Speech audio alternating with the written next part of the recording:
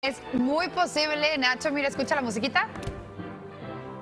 De boda, claro. Es que parece que ya vamos a empezar a recibir las invitaciones nuevamente. La razón, bueno, pues que el sector de la organización de eventos sociales ha iniciado un lento regreso a la actividad después de meses de paralización, obviamente debido a la pandemia. Escuchas esa, esa, esa musiquita y obviamente te imaginas lo que viene después, el mariachi, la fiesta, la música, pero como en muchas otras industrias, las tendencias también han cambiado en esta, que es la industria de las bodas.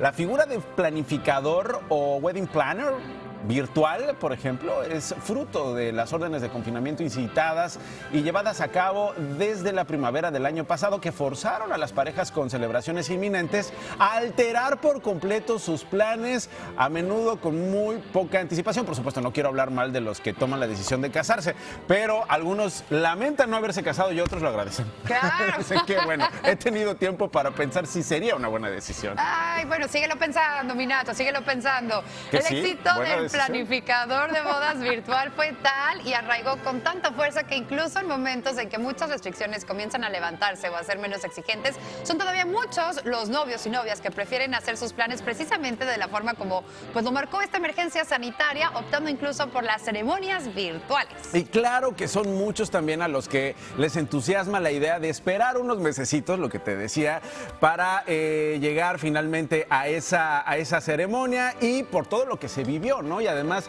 reencontrarse. Valía mucho la pena aguantarse porque no ibas a poner en riesgo a tus invitados, que son lo más importante en tu vida. No, para nada. Y además yo creo que muchas personas también se ahorraron dinero, ¿no? A través de estas bodas virtuales.